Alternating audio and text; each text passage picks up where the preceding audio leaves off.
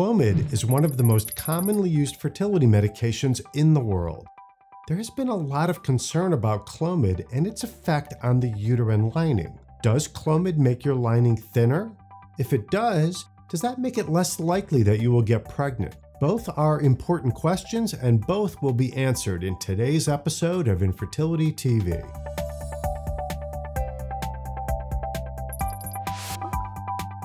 The uterine lining is a layer of cells that surrounds the uterine cavity. As an egg matures, the ovaries produce estrogen.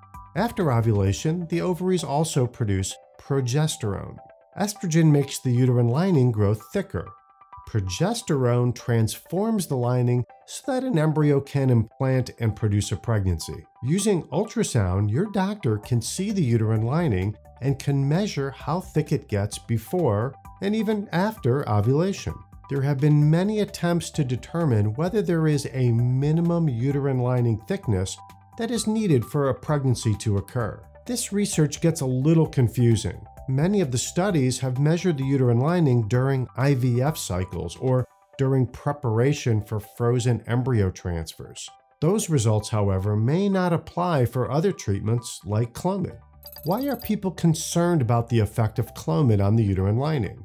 It has to do with how Clomid works. Clomid, or clomiphene citrate, is a type of medication called a selective estrogen receptor modulator. That means that it increases the effects of estrogen in some parts of the body and decreases or blocks the effect of estrogen in other parts of the body. Women who take Clomid because they are trying to get pregnant will usually develop more eggs and therefore produce more estrogen. But the Clomid might interfere with the estrogen's ability to make the uterine lining thicker. That's the theory. But does it actually happen in real life? Studies have compared the thickness of the lining with Clomid to natural cycles or compared to other fertility medications. Most studies show a slightly thinner lining with Clomid compared to natural cycles, or compared to injections, but similar thickness when compared to the medication letrozole. The difference in thickness is not huge. Most studies found a difference of 1 millimeter or less.